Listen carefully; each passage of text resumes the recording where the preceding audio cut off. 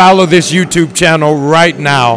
All of my friends, all of my subscribers, if you want to stay tuned to what's happening on the continent and right here in the heartbeat of Africa, which is Ghana, subscribe to this YouTube channel. Thank you very much for checking us out. I appreciate that. Thank you. Appreciate that. Come follow me to a secret place where only the moon. And when the Lomé Convention had died its death, they came up with another one in 2000, and 2000 called the Cotonou Convention. This belt, Lomé Cotonou, appears to be a very favored site for signing these treaties. They signed yet another one in Cotonou to take over from the Lomé Convention. Once again, Africa, Caribbean, and Pacific, is it in their best interest that we should do well? And there is an old English saying, He who pays the piper calls the tune. And for whose benefit is the tune called? And they did not stop there. Everybody somehow is always interested in Africa and her welfare. How many of you here will not remember Uh, the structural adjustment programs in the 1980s? How many of you here uh, will not remember the Millennium Development Goals? There were eight when they came about. Now they have been renamed. Now they are Sustainable Development Goals, and there are 34 of them. How many of you here will not remember Africa Growth Opportunity Act? The House, the Parliament of the United States of America sitting at the Capitol Hill in the United States of America saying, we open the space for African countries. And what are they opening space for? Textile. We will now, whether it is in Lesotho, whether it is in Nigeria or Nairobi, Kenya, our women and our young men are sewing jeans and other apparels which are taken to supermarkets in the United States of America. And once they have worn them and they are tired of them, they created another export opportunity of second-hand clothing. and second-hand clothing, that is why the textile industries in Kaduna in Nigeria died. That is why textile companies in Kenya, whether it was whether it was River Rivatex, whether it was Kicomi, whether it was Mountex, they all died because Europe was now telling us what we have consumed and rejected, you Africans must now consume. And when recently the Rwandese and the Ugandans said that we were going to stop the importation of second-hand clothing, they threatened us with sanction. Africa is meant to treat us new, which that which Europe and America has rejected. That is the Africa that you want me to talk about. So when we talk about this continent of Africa, there have been no shortage of attempts to help her and for her to help herself. I remember on the sixth day of March, 1997, in Accra, Ghana, the former president of Tanzania, Mwalimu Julius Kambarage Nyerere, speaking under the theme, the unity of Africa, said, among other things, that we have not come here to remind ourselves how important unity is. We know that African unity is significant.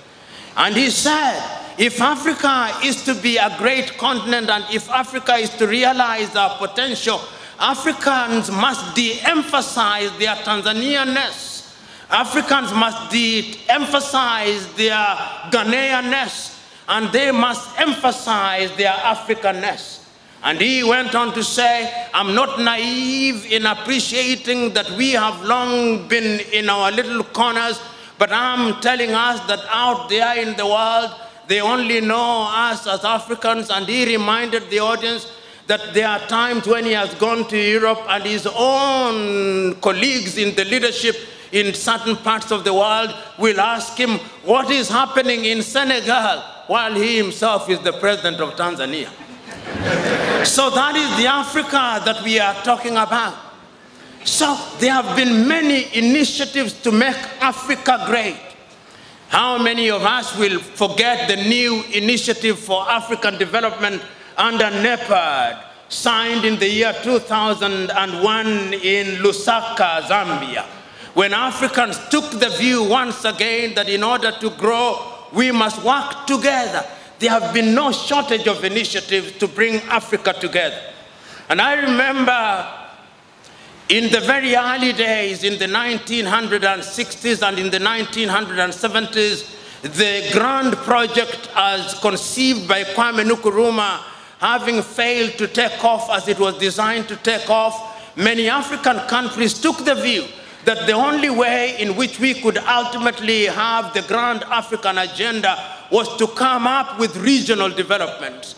So we came up with the East African community, and indeed, I can remember so very vividly because even in Africa, there were days when Africa worked in the early days.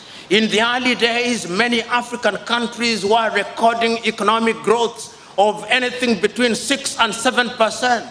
In the early days after independence, there were areas where Africa was growing in education.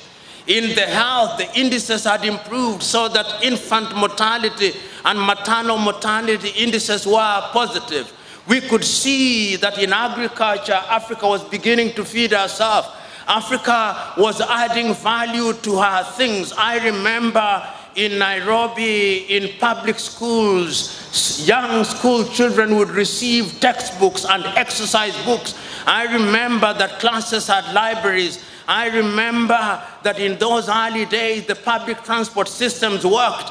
I remember in those days that our agricultural products were receiving the kind of prices that they ought to receive in the world market.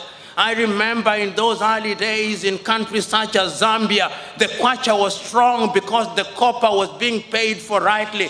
I remember in those early days in countries such as this one where cocoa and in the neighboring Cote d'Ivoire when cocoa was being transported and you are receiving the right price. I remember in those early days, diamond from Mwadui in Shinyanga and diamond from Botswana and in Namibia were receiving the right price. There was a time in those early days when Africa was indeed moving in some direction. And I remember in East Africa when we had one common currency, when we had one airline, when we had one university and things were moving. In the education sector, I remember students coming from Kenya and traveling to Fourah Bay in Freetown.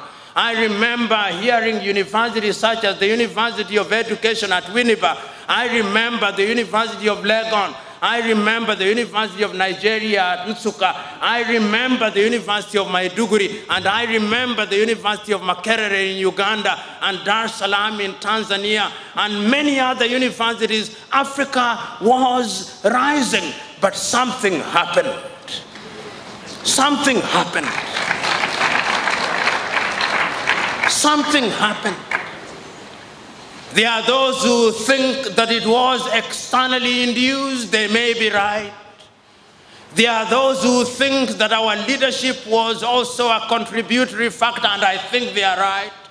So that there is a sense in which we Africans are also co authors of our own misfortune. We are co authors in the sense that there is uh, and there have been opportunities to make us great. At the beginning of the address, the Vice Chancellor rightly remarked, the, or rather the, the professor rightly remarked that in Africa there were countries that were doing better than South Korea. Kenya was doing better than South Korea. Kenya had a higher GDP uh, than China. Ghana the same, Tanzania the same. Then somehow the Koreans went and left us. The Chinese during our lifetime have left us. The Singaporeans have left us. The Malaysians have left us. The Brazilians have left us. The Vietnamese after the war, the war in 1975 have left us. Who is it? What is it? that holds us back? What is it? Is it us? Is it some power? Are we children of a lesser God?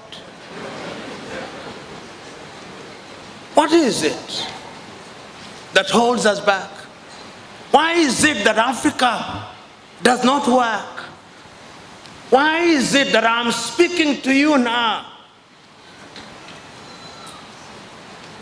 Even what we call peace in many African countries is not peace, it's just silence.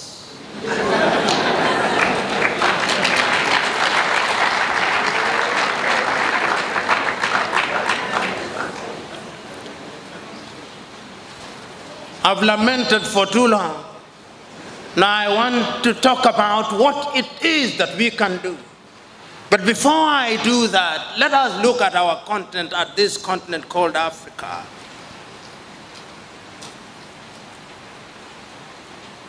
Our combined GDP, the 54 officially recognized countries, that is assuming that you don't ask uh, the Moroccans about Sahrawi. Our GDP last year combined, the 54 of us combined, all of us, 1.4 billion of us, our goods and services put together is no more than 2 trillion United States dollars, and I'm being generous about this. And to give you a perspective, the state of California in the United States of America, with a population of slightly under 39 million, has a GDP last year of 3 trillion United States dollars. To give you a perspective, and my good friend, the Honorable Minister from Burundi is here, their GDP last year was no more than 2.3 billion United States dollars. That is exactly the same amount that the state of New York in New York collects in one day. In one day. That is the continent that we are talking about, my mother Africa. How are we going to make her work? I want you to look at her. Look at her in the Gambia. What does she produce? Groundnuts. That is assuming that the Chinese will not come out with plastic groundnuts soon.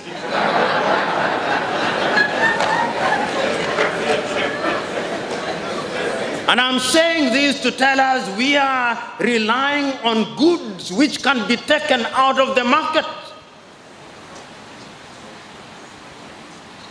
And tourism. How many people visit the Gambia in the name of tourism? If they are more than one million, then we celebrate and we bring out dancers. Meanwhile, the bazaar market in Istanbul receives 99 million visitors every year. What tourism are we talking about? Let us go to Senegal. What is she producing? How can we make her work? What, how can we make Mauritania work? How can we make Mali work? How can we make Chad work when almost 70% of it has dried out in the last few decades? Then you wonder why we have Boko Haram, why there are recruits for Boko Haram and ISIS and Daesh.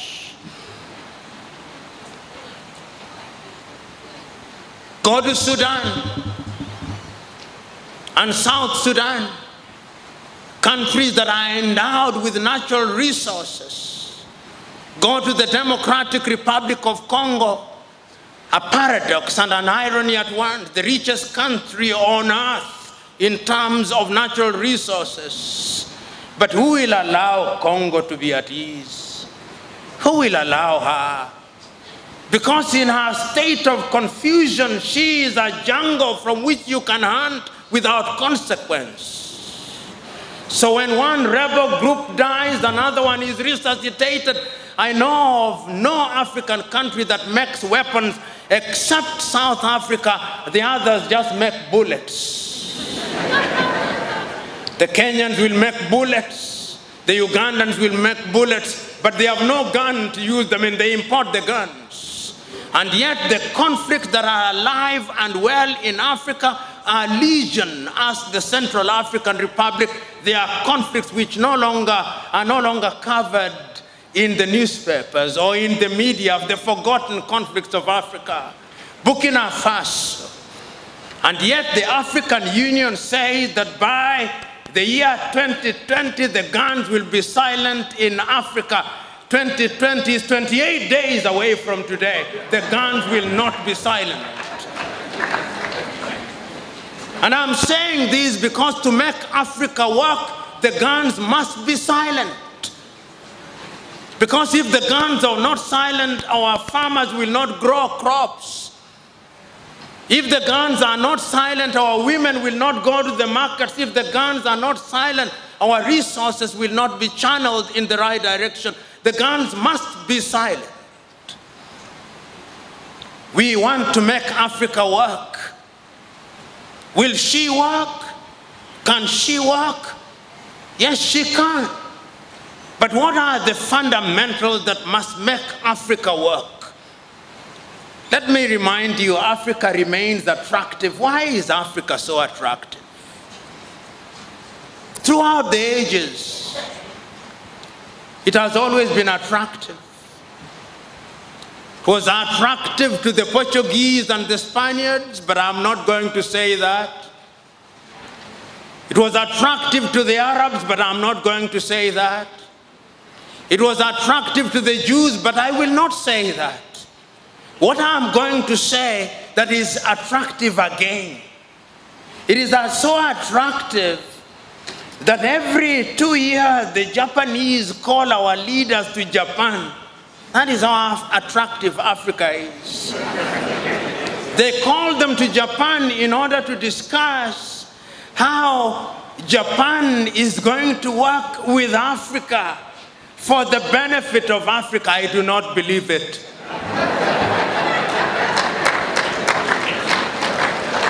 it must be for the benefit of Japan. It is so attractive that the Chinese leaders call Africans to Beijing every year. The 54 of them, they call them to Beijing. And they say this is how China is going to work for the benefit of Africa. I refuse to believe them.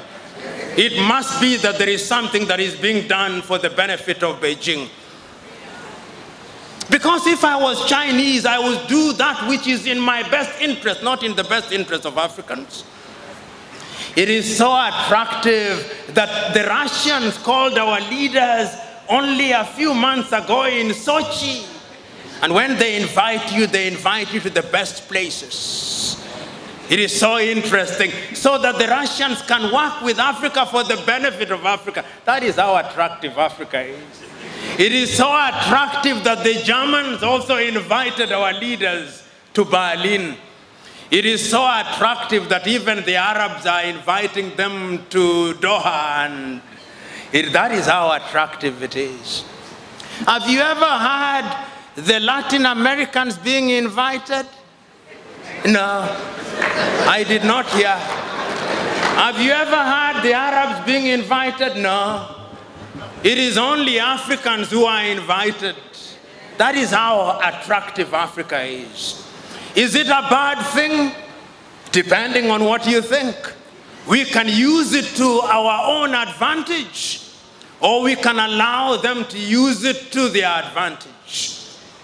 You know, when I look at Africa and I look at her in the continent, in the context of how attractive she is, another word comes to my mind called globalization. When we talk about globalization, you talk about globalization as if it were a new word. It is not. Africans were once globalized as a commodity in the slave market. We were sold everywhere in the world. That was globalization. that was globalization. Then we were globalized again through colonization. Then we were globalized again through neo-colonization. Now we are being globalized in the context of opening our markets.